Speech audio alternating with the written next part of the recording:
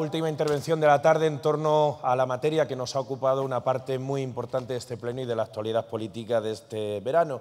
Mucho se ha hablado acerca de la administración del Gobierno y poco se habla, sin embargo, del hecho de que uno de los principales empresarios de Castilla y León, tanto en recepción de obra pública como en subvenciones a medios de comunicación, se encuentra actualmente en la cárcel por delitos, supuestos delitos relacionados con corrupción. Lo cierto es que estamos ante un personaje de una importancia determinante para nuestra Administración y que a lo largo del verano hemos conocido por distintos medios de comunicación diferentes situaciones absolutamente alarmantes. Hemos sabido que un consejero llamaba personalmente a este empresario para ofrecerle una obra pública. Hemos sabido que el alcalde de la cuarta ciudad de Castilla y León le avisaba en directo de que no estaba ganando una mesa de contratación pública, cómo este empresario le responde literalmente que lo arreglen y cómo el alcalde le responde voy hacer yo una gestioncilla rápida. Hemos visto cómo este empresario se jacta de tener a un alcalde y procurador de esta Cámara como conseguidor que va recorriendo las Cortes buscando llegar su empresa a otros municipios como Aranda de Duero, como ellos mismos se jactan de este hecho en sus conversaciones y dicen que vamos a por el PAC completo. Hemos visto cómo el fiscal que no Izquierda Unida, el fiscal destaca la asombrosa capacidad de influencia de Ulibarri gracias a sus medios de comunicación. Estamos hablando de un hombre que pronuncia frases como apriétale más o como dale una vuelta de tuerca o dos cuando un político no responde a sus intereses y hemos visto cómo se le responde con algunas frases que ciertamente pertenecen a conversaciones informales, pero que merecen también su comentario, como esa desafortunada la administración soy yo. Lo grave es que es verdad. Lo grave es que ustedes son la administración porque la falta de transparencia en la misma es a lo que nos ha abocado.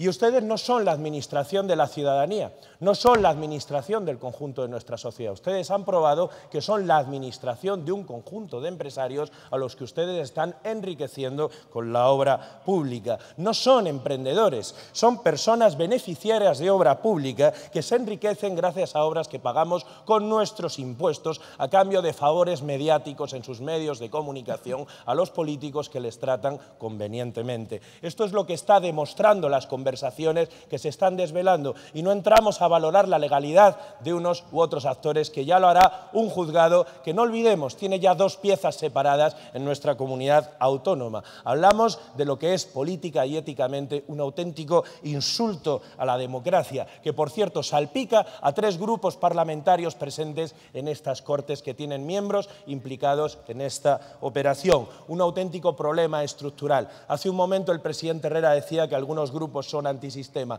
Yo me declaro antisistema de un sistema estructuralmente corrupto en el que los grandes empresarios utilizan a los políticos para lucrarse de manera absolutamente irregular. Muchas gracias. Gracias. Para contestar tiene la palabra el vicepresidente de la Junta de Castilla y León. Muchas gracias, presidenta. La verdad que para uno que pregunta claramente sobre este asunto no he hecho la pregunta. Ha soltado un discurso, o sea, los demás andan revolviendo, para no preguntar directamente. Usted me pregunta directamente y no me ha preguntado. No me ha preguntado. Pero bueno, ya que ha dicho que hemos visto, hemos visto muchas cosas en esas grabaciones. Usted ha citado tres. Pero hombre, también hemos visto cómo te debo una, cabronazo. Eso lo decía, un amigo suyo al jefe de policía de Oviedo por no ponerle una multa. ¿No le conoce usted al, secretario general de Izquierda Unida en, Asturias? Sí. Pues le debe una. Ya no lo repito otra vez. Anda, que no hemos visto cosas. No hemos visto cosas. Mire, habla usted de subvención a medios de comunicación. El 85% de la subvención que se lleva ese grupo de comunicación está pactada con ustedes. No me diga que usted no viene a la comisión de... Sí, sí, a la comisión de seguimiento de la, de la televisión. Sí, señor. Manda usted, claro, manda uno, manda usted al portavoz adjunto. Ah, bueno, alguien va por el grupo mixto y, vota a favor. Igual que pasa en Podemos, tampoco lo sabía la portavoz adjunto, pero votan a favor. Siempre han votado a favor. El señor, eh, el procurador de UPL lo sabe perfectamente, el 85%. Sí, sí, que sí, que sí. Claro, como no va, o sea, cuando no va usted y no está en un pleno y no vota, no tiene nada. No, usted manda a alguien, no puede estar en todos los sitios. Pero mire, eh, es la última pregunta, es la última pregunta y nos ha dado, nos ha intentado dar una lección de ética. Mire, yo me encanta aprender todos los días, pero que me den lecciones a mi edad ya me cuesta más. Y usted nos ha venido a dar una lección de ética, a todos. Es verdad que el asunto no es bonito, hay seis personas investigadas implicadas del Partido Socialista, hay cinco personas investigadas implicadas, investigadas, ya sé, pero bueno, para entendernos, del Partido Popular, hay tres personas investigadas imputadas del Partido Ciudadano. No es bonito, no. Pero hombre, no nos dé usted una lección de ética, señor Sarrión, que usted también consejos vendo, pero para mí no tengo. Fíjese, ustedes salen, como les decía, en esa grabación que es graciosa. ¿eh? Te debo una. Esa es graciosa. Esa le gustó a usted.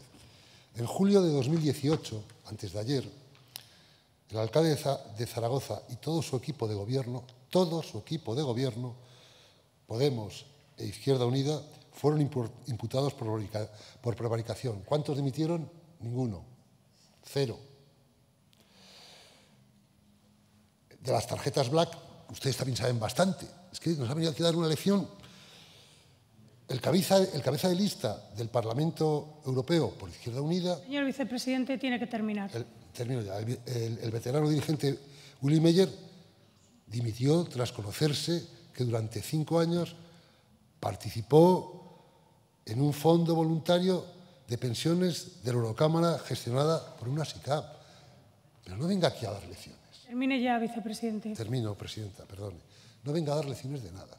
Y cuando quiera formular una pregunta, formúlemela, que no la ha formulado. Muchas gracias.